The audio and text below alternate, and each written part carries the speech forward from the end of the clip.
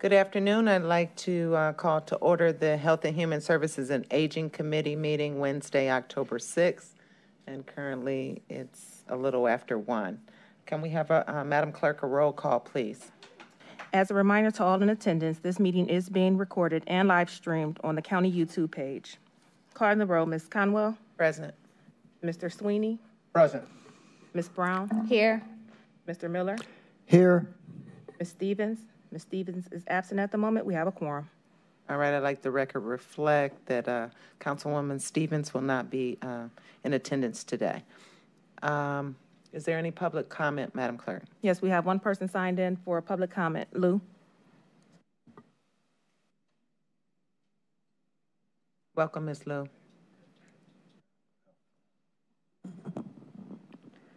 Good afternoon, everybody. Uh, we thought today is a really fine day. Not too hot, not too cold. Uh, but still, the homeless people in the shelters don't have the same experience. Interestingly, this morning, a bunch of people, really a lot, 20, 30 people, came in with the blueprints, with lots of charts coming into the building. Well, I guess their intention is to check out the condition of the building and see what they can do about it. So, yes, I got my opportunity to talk to some of them, not all of them together. Uh, this big group was actually led by Mr. Richard Card. The person asked me, Are you an engineer? That one. But today she's very nice and pleasant because she had a big crowd with him.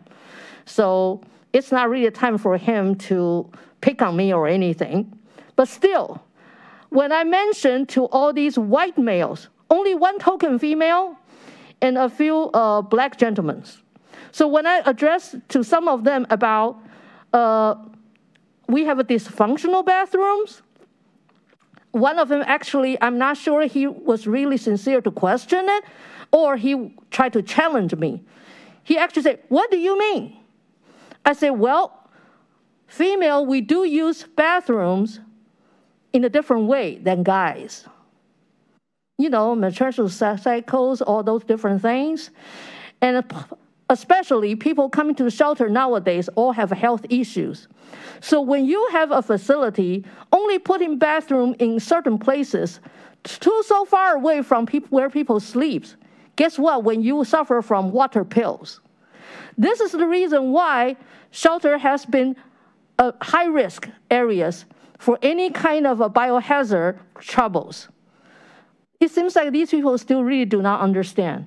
I actually told them frankly and bluntly.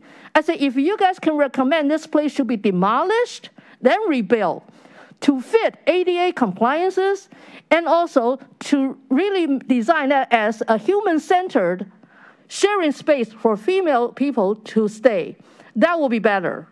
But I'm not sure if they have the liberties to do that.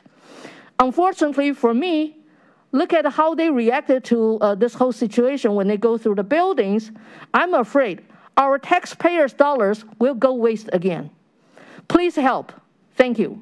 And also, Mr. Richard Carr actually accepted my suggestion to have a multiple uh, meetings with the people using the facilities to get input. I hope that actually happens. I will keep you updated. Thank you very much. Thank you. Is that all for the public comment? Yes, Madam Chair. All right. Um, If someone could make a motion to approve the minutes from the September 22nd meeting. So So moved. Second, Brown. All right, moved by Miller, seconded by um, Councilwoman Brown. All in favor, please say aye. Aye. We have three uh, matters that were referred to the committee today. Um, Resolution 2021-0225, who will be presenting? I'll read it into the record. Thank you. Resolution 2021-0225, authorizing an amendment to Agreement Number 204 with the Metro Health System for comprehensive medical services for families involved with Division of Children and Family Services for the period January 1st, 2020 to December 31st, 2021, to extend the time period to December 31st, 2022, and for additional funds in the amount not to exceed $1,551,000. Thank you. Good afternoon, committee members. Paul Porter, Health and Human Services, on behalf of the Division of Children and Family Services. This is an amendment to our existing agreement for comprehensive medical services with Metro Health Medical Center. We're exercising the final option year that was contained in the RFP for these services, which the contract for that began in January of 2020. We're adding funds in the amount of $1,551,000 divided into an additional 443,000 for 2021 and then 1,108,000 for 2022. The additional funding for this year is broken up as follows between foster care medical uh, and toxicology. So for the toxicology screening services, we're adding $130,000. And then for the foster care medical, we're adding $313,000. The allocation for next year, that 1,108,000, stands the same as the initial allocation for 2021. That's $455,490 for foster care medical, $17,510 for second opinion consultations on medications, and then 635,000 for toxicology screening services. We do continue to see high client counts for these services, and the comprehensive medical services are a 24 7 service availability program, and that includes um, anytime a child comes into custody we work with Metro Health to have them screened within two hours of them needing that service. So it's a high demand service. We have, you know, the screening services for children, and then the toxicology services are specific to caregivers involved with DCFS cases. We do require that Medicaid be the payer of first resort for these clients. So Metro Health works to bill any applicable costs to Medicaid before billing it to this contract. Historically, about 55% of the services delivered under this are able to be billed to Medicaid, and then the remaining 45% are what this contract covers the costs of. There are uh, several representatives here for further discussion, both programmatically and then from the vendor. Cindy Weiskittel, the director of the Division of Children and Family Services, is here, as well as Karen, Karen Storman and Latoya Hall from DCFS. From Metro Health, we have Brian Rentschler and Anna Velez. Uh, I want to note that we are planning to do an RFP during calendar year 2022 for these services, and that would be for a new contract to begin in January of 2023 happy to entertain any questions at this point, and also happy to call up the representatives from DCFS if you have programmatic questions. And you mentioned a couple of, uh, I have Cindy and Karen. Who was, who was the other two individuals that are here? Correct. We have uh, Cindy, Karen, and Latoya from DCFS, and then Brian Rentschler and Anna Velez from Metro Health. Brian's last name again? Rentschler, R E N T S C H L E R. Did I get that right, Brian? All right, thank you. Thank you. Thank you. Paul. You can call them up. Uh, any other questions, I guess? And I'm happy to call up uh, anybody that you'd like to hear from. Um, Madam Chair, Yes, Councilman Miller. I have one question, and it's uh, who or what determines what kind of costs are, are paid for through a public program like this and, and what health care uh, services are required to be paid for by, by the families of, of the children or their health care systems? Sure. Um, Councilman Miller, we did include any applicable services as part of this RFP when it was bid out. and the contract specifies a specific dollar amount that each individual service can be billed at under the contract. Again, we look at this contract as the payer of last resort. So I guess my answer would be if the child or person is eligible for coverage otherwise, that coverage should be billed first. Otherwise, we would pay for the cost of services. I, I don't believe we're asking for out-of-pocket payments at this point. It's just, you know, using insurance coverage where that exists. Okay, thank you. All right. Um, well, I had a couple of questions. Um, are dental services covered under these contracts? Uh, this does not cover dental services, I don't believe. There's only specific things that are covered under this. The health screenings for children that are coming in, the second opinion consultations for kids that are on psychotropic medications, and then the toxicology screening. Okay, and it, I know it's hundred percent funded by the state child, uh, protection allocation. How does, how does that, those payments work? They, the state sends us the money and then, Correct. I believe that we pay Metro Health and then we can draw down those state funds for this, hundred percent in this case. okay, so if we, if we draw down, um, you stated, you stated that there was additional funds that was needed, so the state allocated those additional funds? Correct. I believe that we have those funds available for this as well as for other services. And it was just, you know, because the number of referrals that have been sent to Metro are higher than what was initially anticipated in the budget, we had to kind of reallocate those funds to this contract. And again, that amount is 443,000 for this year. Okay. Any other questions from Mr. Porter? All right, you can bring up whoever. you'd like. Perfect. Um, Karen and Latoya, do you want to come up or Cindy?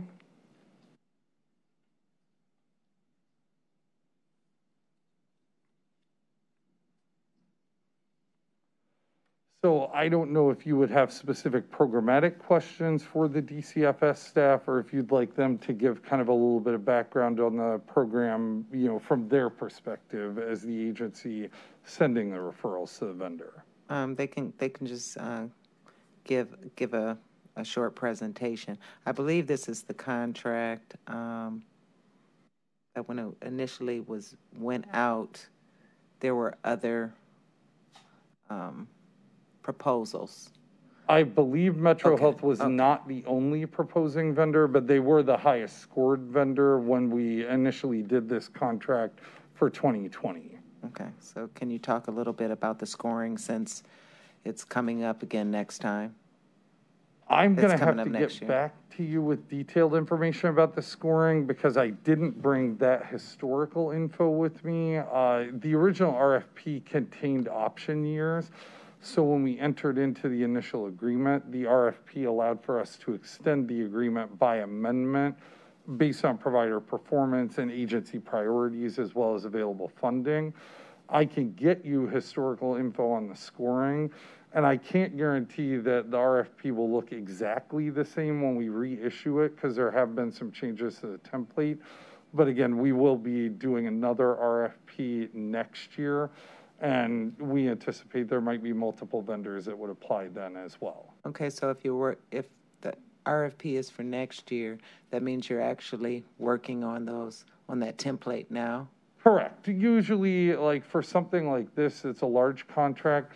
We would probably look to release something in the spring so that we have plenty of time to get the contract together and before council next fall. Can you keep my office app- apprised of the, the changes in the RFP, if there are any? Absolutely. going Sure. forward? Thank you. Welcome, ladies. Hi, good afternoon, members of council. Uh, Karen Storman, Division of Children and Family Services. Good afternoon, Latoya Hall. I'm Healthcare Coordinator with Division of Children and Family Services. Uh, For this program, the Cuyahoga County Division of Children's Services has been in a partnership with Metro Health since 2013. At that time, um, they were they presented this opportunity to partner together to better serve the children who are coming into care in custody of the agency. And as such, we've developed a medical home for foster care in Cuyahoga County.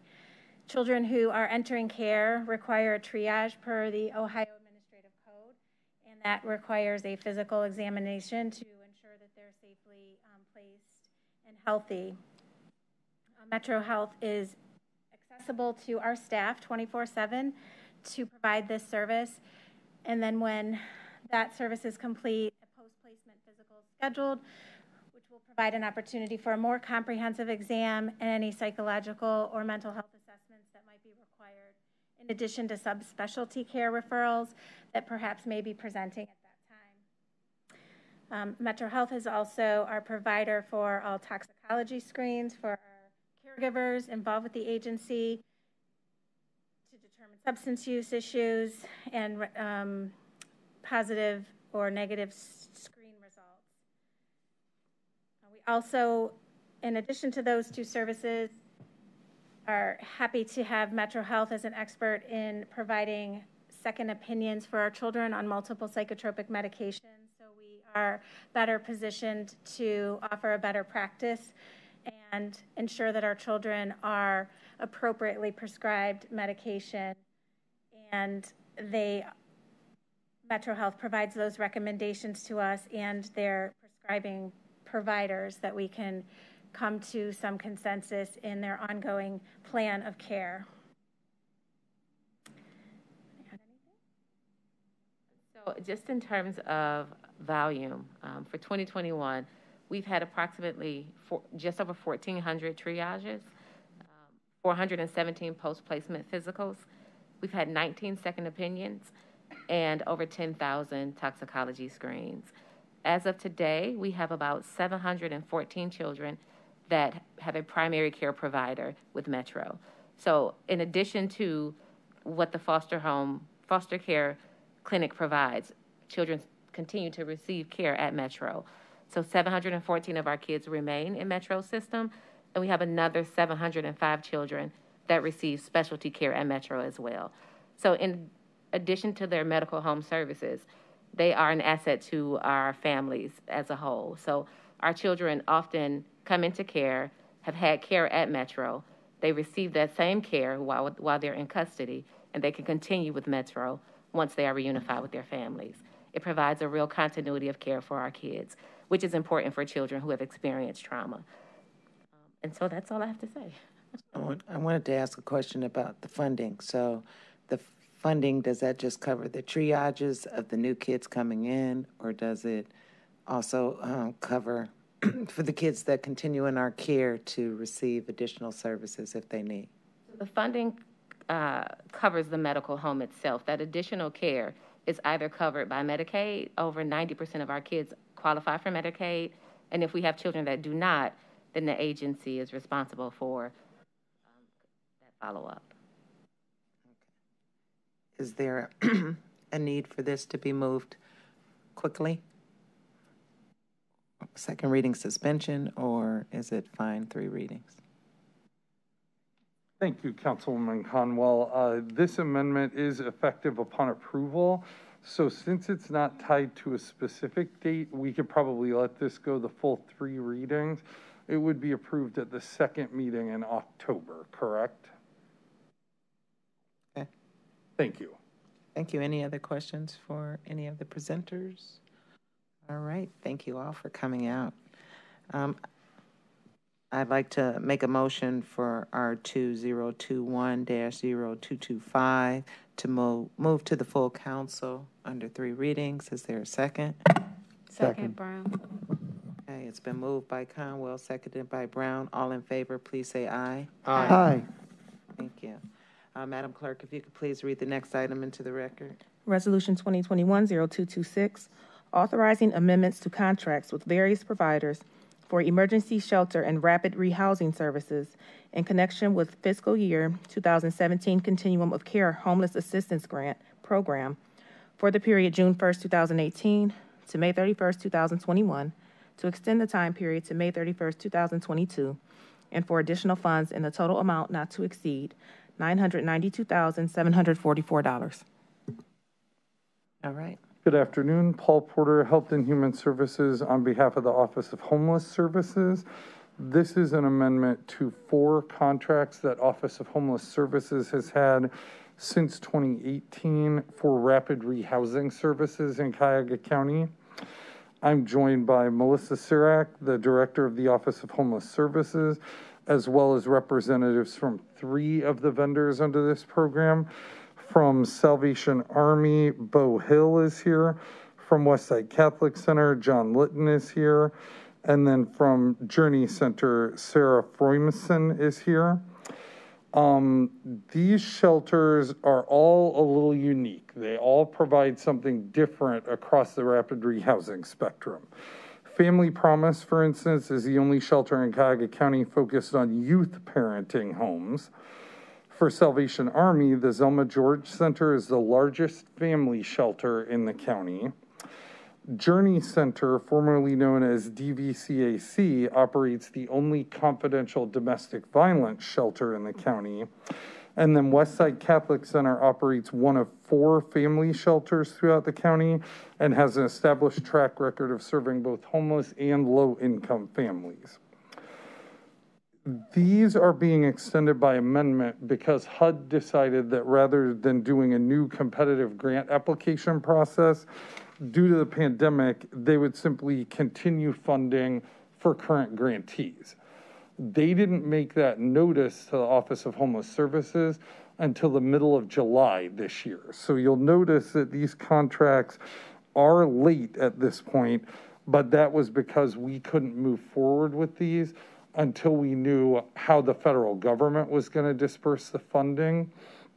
These are all split between HHS levy funding and this continuum grant funding, which goes back to uh, 2017, fiscal year 2017 initially. We do anticipate that next year there will be a competitive process for these funds, so new contracts would likely be awarded through the same review and ranking process where the, you know, highest scored or highest reviewed programs are the ones that'll get funding. I will note that based on that timeline, we were able to get these contracts drafted, reviewed, and then submitted within two months from the notice that we received from HUD, which was about as quick as we'd be able to get something in under normal circumstances, considering the dollar amount of these agreements. Um, I'm happy to answer any questions from a contractual perspective. And then I would turn to Melissa and the vendor representatives if you have questions about the services. Yes, Paul, are, um, I, I know Journeys has housing. Are all of these connected with some sort of housing?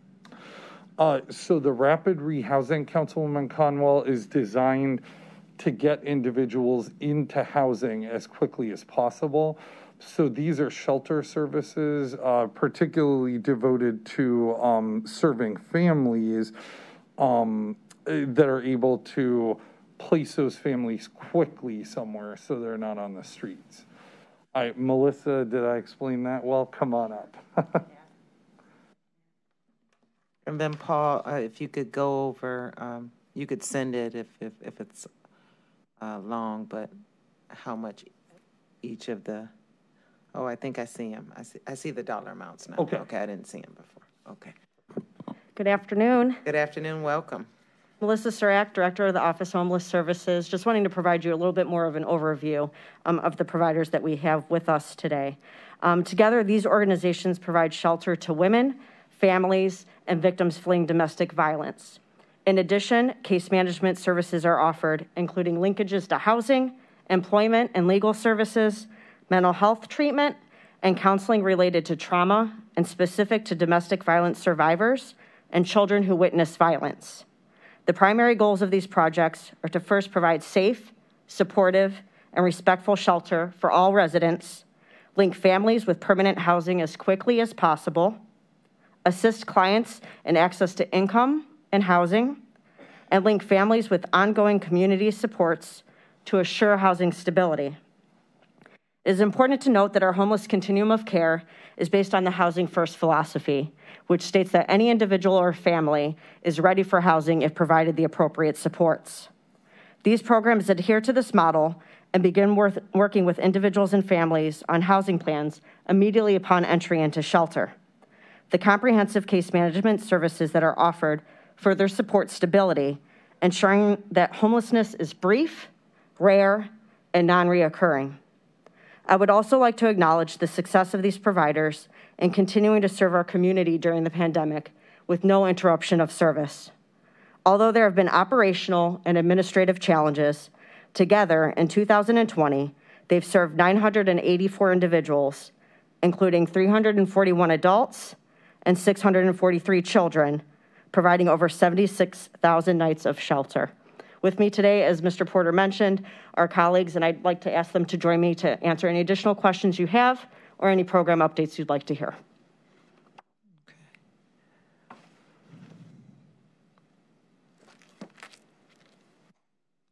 Any questions from Councilman Miller?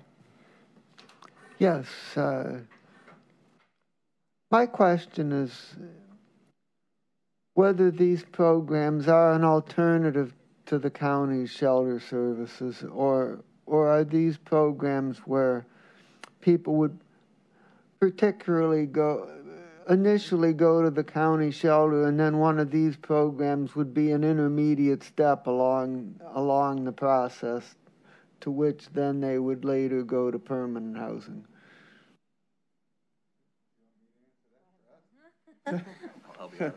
through the chair councilman uh, the uh, for Your us name at for the, the Salvation Army, it is. Your name for the record. Oh, I'm, I apologize. My name is Bo Hill. I'm with the Salvation Army, and um, through the chair, Councilman Miller, Miller um, for us, it is services that are provided to the individuals while they're in shelter, and so it allows us to do. Uh, it allows us to pay for the staff that allows that rapid rehousing and the coordination of those services to occur between between the providers. So hopefully that answers your question, sir. Uh, partially at best. Uh, what I'm trying to Councilman get Miller, an may I add? understanding of is is would someone come right in off the streets and go into one of these programs, or would they likely go to the county shelter first, stay there for a while, and then go to one of these programs? Individuals do, or families do oftentimes show up at shelter. However, they're redirected to coordinated entry, which serves as our single access point to all shelters, whether you're single adult or family. From their coordinated entry, um, does an assessment and then makes the appropriate referral based on the individual circumstances and the appropriate shelter. And I don't know if you want to speak a little bit more to Journey Center as well. They're a little unique. Hello, everyone. I'm Sarah Frameson, Senior Director of Crisis Housing and Shelter at Journey Center. Um, because we do serve um, domestic violence survivors who are actively fleeing, we process our own intakes through um, our own confidential line. Um, so, recognizing that there are safety concerns about accessing some of the county shelters with perpetrators who may be accessing those shelters as well. So, our process involves um, a call directly from a survivor to our help helpline um, and at that point, we do process a pretty thorough assessment, focusing really on escape planning, safety planning, and helping them get to our services as safely as possible. At that point, we then leverage all of our resources to assist them through the legal process as needed, as well as through the housing support um, and placing them in um, through the rapid rehousing program in housing. Thank you. Okay, thank you. And I would also ask, what's the typical length of stay at these programs? Um, at Journey Center, we really recognize that each survivor has their own path and it may take a different amount of time for each person. We look at an average length of stay of about 45 days. It's traditional for us. John Litton, Westside Catholic Center Executive Director, um, and I would say similar, 30 to 45 days stay. And to put a finer point on, on the answer to your question, Councilman Miller, um, our shelters are the county part of the county's answer to family homelessness, um, and there really isn't a stop off somewhere else other than that coordinated intake that then directs them to one of our sites. Thank you. In terms of uh, from Melissa, are you done, Councilman Miller? Um, the we talked about coordinated intake, and I, I know you mentioned families and, and single adults. Uh, does that include the youth? That are 18? Yes, Are they young adults participating in do that? go through And coordinated so entry we'll- as well. we'll- We'll keep that even though we're progressing uh, for, Absolutely. hmm right. Um, And one question for Sarah. Um, 45 beds? 45 beds with the, um, because of the pandemic, we did have to uh, decrease our bed size. Um, right now, we're serving about 30 to 35 in shelter, and we are continuing to contract with a uh, confidential hotel to continue to serve the, those same amount of folks. uh, Okay, that's only because of, due to COVID, Due to correct? COVID, yeah, and our infrastructure. Okay, um, in terms of the shelter, it only is for females, correct? No, we do serve men and women. Um, we serve anybody who identifies as domestic violence survivors, and that's self identified. Councilman Sweeney? Thank you, Madam Chairwoman. Just put in perspective for me, uh, demand, is- Excuse me, Mr. Sweeney, can you speak into the microphone, please? sorry about that, coworker. We'll try to behave. Just the demand, is it a waiting list of 2,000 or is it just waiting for folks so I can just get my hand, my head wrapped around this a little bit as I continue to serve here? Thank you, Madam Chairwoman. Um, you know, prior to COVID, prior to the pandemic, we always had a, a large demand for our services as we are the only confidential shelter. Traditionally, we were turning away about 100 to 150 families a year. Um, with the onset of the pandemic since the initial shutdown, uh, we unfortunately had to turn away about 320 families. Um, as many of you have, are familiar, there has been an increase in domestic violence and severity, um, and with the county having, you know, the one shelter, it does make it challenging to serve all those folks. We have adapted some of our programming though to try to meet them out in the community, try to connect them to resources, but housing still remains a concern. Thank you. Similar for the other two entities, through the chair. Um, uh, through the chair, Councilman Sweeney, the, I know that for us, we have a thirty-five room family shelter, and we serve on any given night somewhere between one hundred and ten and one hundred and twenty-five people. As far as the backlog, I do not know that. That'd probably be someone from coordinated intake or, um, Melissa would probably have that, but I knew, do know that for us, we are full every night. And the with the pandemic, the biggest impact for us is our length of stay was extended during the pandemic, just because of the challenges of getting people into housing. Thank you. Councilman? Councilman? Uh, I would, I would only add that uh, the kink in this has really been getting people into permanent housing, finding units, finding places for people to go. Um, We are generally full um, most nights as well, but uh, I wouldn't say we're turning people so away, so- away so much as, uh, you know, coordinated intake is constantly um, ensuring that every place is as full as it can be before they uh, figure out other options for, for a family. And thank you, Madam Chairwoman. Just gives me a bigger perspective how important, uh, you can only do with what you have, and the result of more permanent housing is just incredibly important. So, thank you. Councilman Sweeney, if I may add. Please. Um, um, we, we did see, um, less families in 2020 during the pandemic, which of course, um, helped the need that uh, there often exists. However, um, we manage overflow shelter as well, and typically at times, uh, there are where there are spots that are, um, not available. However, we work with our partners that are HUD-funded and not HUD-funded throughout our continuum to make additional space. Several of these providers also have emergency rooms that aren't technically, um, a shelter referral, for lack of better words. So we really work together when we are in times of crisis. And we were also creative during COVID, utilizing shelters as well for those families um, and individuals on a confidential level. Thank you for the uh, full explanation, and to my colleagues, thank you for your patience with me while I. Direct- Director Sirak, uh, where is the overflow shelter? Uh, Where do, where do we, where do we utilize now? It's currently at Haven Home.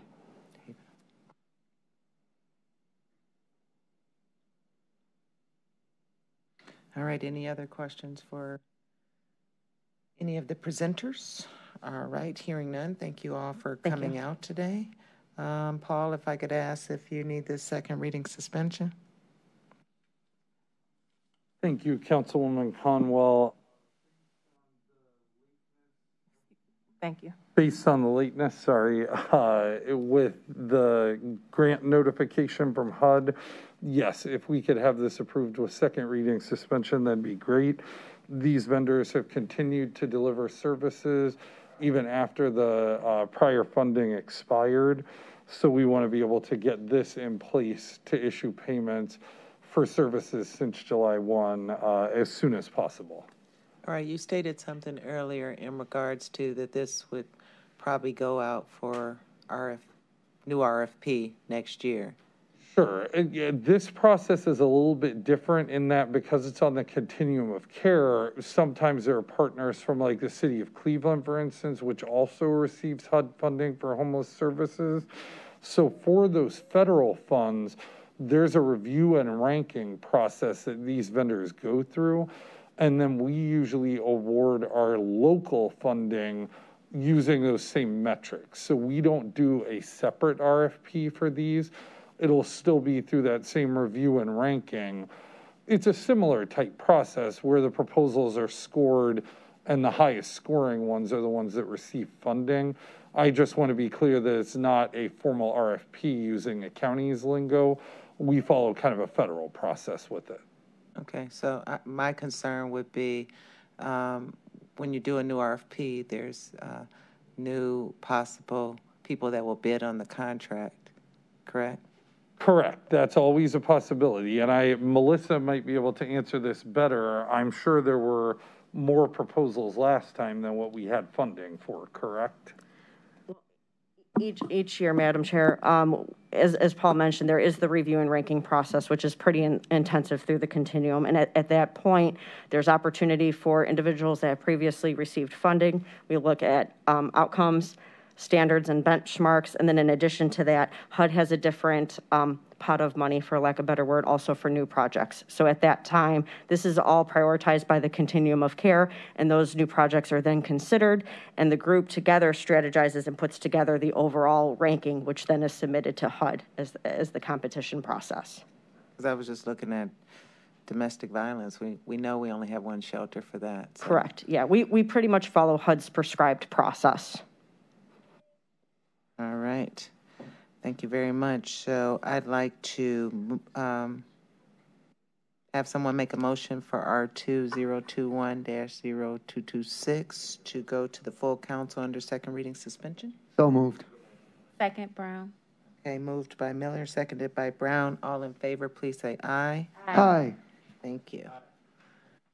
Madam Clerk, if you could read the uh, last item into the record, please. Resolution 2021-0227, making an award on requisition number 5966 with Stella Maris, Inc., in the amount not to exceed $530,000 for temporary housing for homeless single adult males in Cuyahoga County with substance abuse issues for the period 7/1/2021 to June 30th, 2023. Good afternoon, Paul Porter, Health and Human Services, on behalf again of the Office of Homeless Services. This is an award to Stella Maris on an RFP that closed at the end of May this year. We worked with the vendor to develop the contract and the scope of the work over the following months. This is 100% levy funded, and it's a contract that supports shelter services for homeless men with substance abuse issues. It's a two-year contract worth $265,000 per year for a total two-year value of $530,000. The contract provides basic temporary housing with access to intensive outpatient treatment for 20 homeless men at a time. We also have a goal to link clients with permanent housing and sustainable income, and then to link clients with recovery supports in the community. Um, there were a couple of issues with uh, the language in the contract. The initial contract draft was written for two years, but it had a $265,000 value as the total value rather than the one year value. That was caught when it was going through the final review uh, for submission to council. So we had to get the contract corrected, and the vendor had to approve the new copy, it wasn't really a change in scope or anything. basically just a typographical error in the contract value. But that delayed us because it kind of was pulled out of the uh, review and approval process, corrected, and then resubmitted. So again, we do recognize that this one is further behind as well and would ask for approval of second reading suspension for this too. Uh, Melissa Sirak from the Office of Homeless Services is here. And then uh, Jason from Stella Maris is here as well. All right, any questions for Paul? Councilman Sweeney? More of a curiosity. Thank you, Madam Chairwoman. You said it was for 20 beds, Correct. and I, th- th- Stella Maris has more than 20 beds? I can, I would defer to the vendor and to Melissa uh, for a specific answer on that. I just know that that's what this particular contract funds. So, um, Jason, and your last name is Dobner? Correct. Okay, perfect. So Jason Dobner from Stella Maris is here and can help to answer that question. Thank you. Hi, Yeah, Jason. hi, I'm Jason Dobner, uh, with Stella Maris. I'm the supportive housing Excuse me, can you speak into the microphone, please? Should I repeat myself? Yes. Okay, hi, my name's Jason Dobner. I'm with Stella Maris. I'm the supportive housing manager. We have 46 beds for men. Yeah, and that's my question, Madam Chairwoman. Uh, We have a specific 20-bed funding for substance abuse for, I believe, males. Correct. Uh, And then there's 23 other, 26 other ones. I mean, is this an opportunity where funds could be commingled and stuff like that, or just they plop it into your general operating and you do whatever you want with them? So those other beds are, we work with the VA too, that also has to go through homeless services clarity that we report on as well. We have eight beds for them. Um, and then the other beds are courts. We work with the uh, drug courts downtown, um, as well as some other drug courts and self-pay as well. Got it. So I'm just trying to figure, so our 20 beds are funded by these dollars, and they're specifically from referrals from Cuyahoga County? Correct. And if you have 29, but you have three beds that are available through the drug court because they're not being used, can you move those over, or is it a hard 20? No, it's a hard, no, we do, and that's another thing too. Um, we go down to the shelter, um, and do pre-screenings with them, with the homeless clients down there that want to, we do a group down there. Um, we were actually going to Maple Heights too at the hotel during COVID and all of that stuff, so they were, uh, referring people to go over to the hotels as well. So we'd go down there and screen them. Um, we don't, force them to come in. We're an abstinence-based program, so if that meets their needs, um, basically when you come in, you can come in with nothing, off the street, off the shelter, zero income, zero medical, mental health services, any of that. We provide them with everything from day one. Beautiful, yeah. And I'm through the chair to, Stella Maris is just a rock of the community forever. And it's always waiting on a bed, waiting on a bed.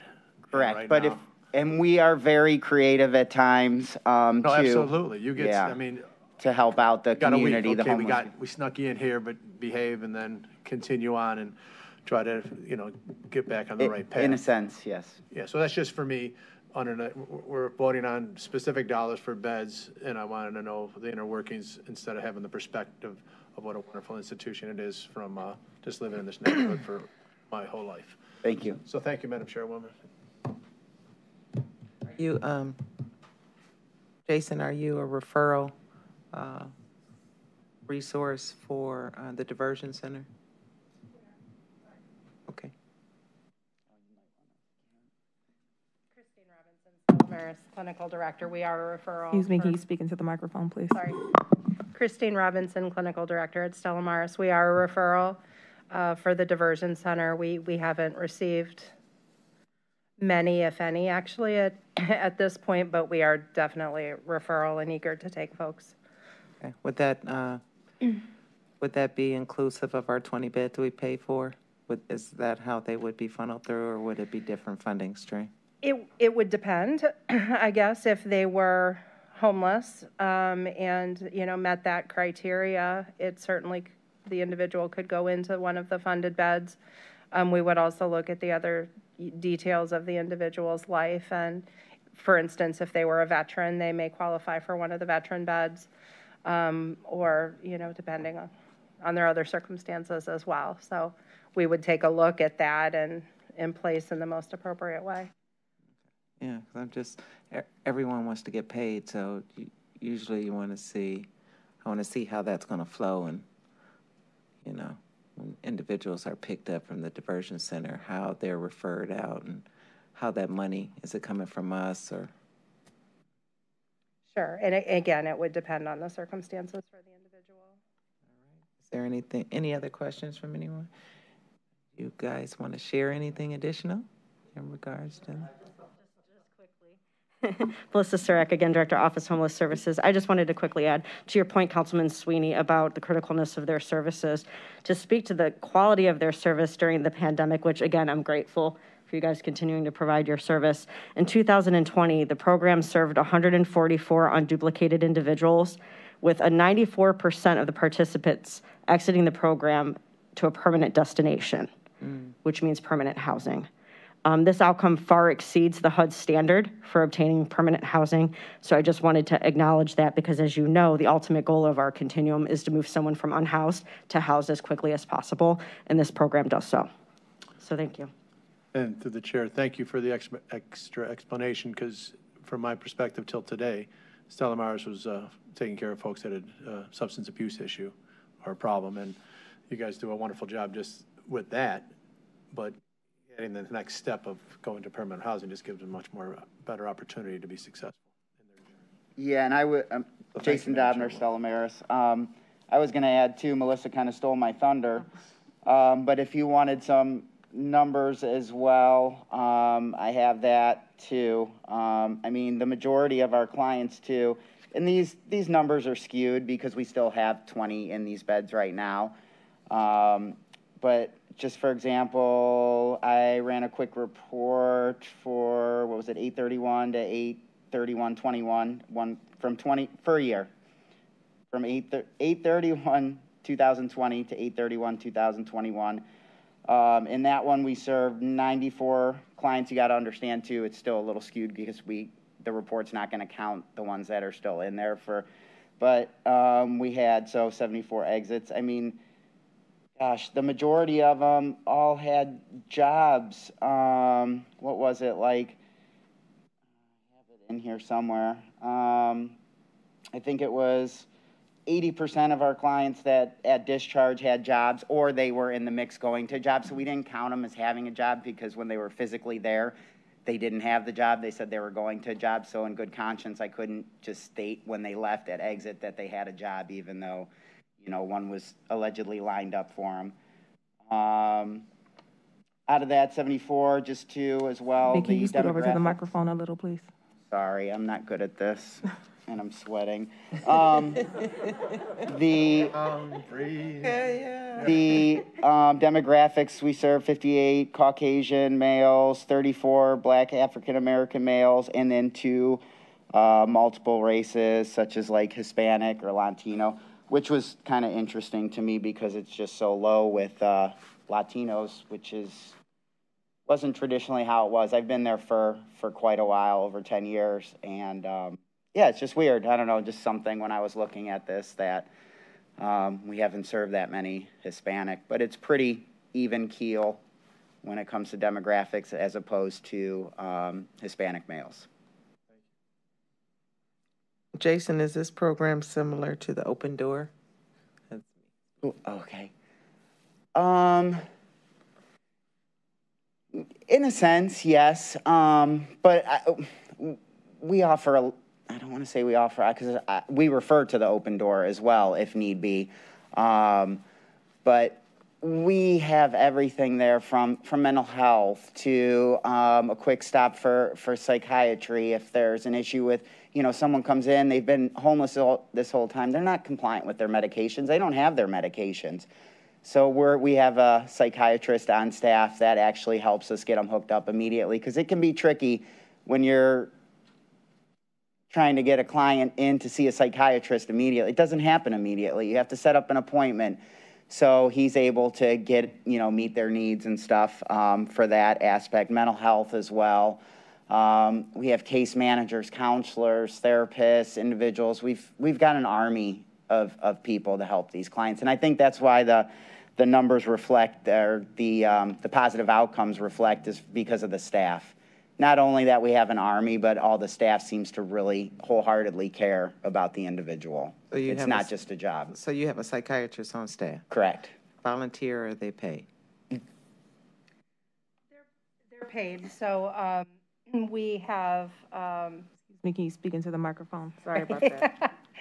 they're paid. We do have a couple of different contracts um, with psychiatrists that are able to meet the needs of our, our full continuum of care. So the, the doc that works with detox may not be exactly the same doc that works with outpatient, um, but they are paid. Thank you. And to piggyback on that too, he wouldn't be primary. He's just kind of to a stopgap until we get him set up with their primary, so they can get on their medication. Thank you. Anything further? All right. Hearing or seeing none. Um, I'd like to open, uh, uh, Paul, do you need the second reading suspension? Thank you, Councilwoman Conwell. Yes, if we could get this approved with second reading suspension because it goes back to that July 1 start date, that would be best. Thank you. All right, and I thank the guests for coming out today. And thank Director uh, Sirak for all the work she does. Um, if we could open up, uh, someone could place a motion for R two zero two one dash zero two two seven. So moved. Second. All right, moved and seconded. Uh, all, uh, for second reading suspension, all in favor, please say aye. Aye. Aye. Thank you. Thank you. Paul, do we- you know if we have anything coming up, uh, any contracts coming this, to this committee anytime soon? So probably the biggest contracts that are going to be coming to you before the end of the year, Councilwoman Conwell, are going to be uh, some of our larger master agreements. For DCFS, that would include out-of-home care and family-centered supportive services. For DSAS, that would include the Community Social Services Program. We're still working with the vendors to get all those master agreements finished. So I do anticipate those will come before you during November, not anytime during the rest of the month of October. Okay. Thank you. Thank you. Any miscellaneous business from any of my colleagues? All right, seeing or hearing none, this meeting is adjourned. Thank you.